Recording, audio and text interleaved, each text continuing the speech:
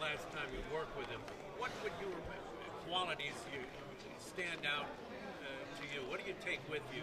Well, we, you know, we had a great career and so forth, but you know what? He's like the best guy in the world. He is like the most generous, fair, nice person I've ever met in my life. I mean, the only way Manny Pacquiao will spend all his money is he gives it all away. I mean, because he's that generous. He's he's the nicest guy I've ever met in my life. And then, like, you know, he's not prejudiced against anybody. I mean, he he treats everybody fairly. He loves everybody. He's just a good person. He's a, I think he's the best person I've ever met in, as a human in my life.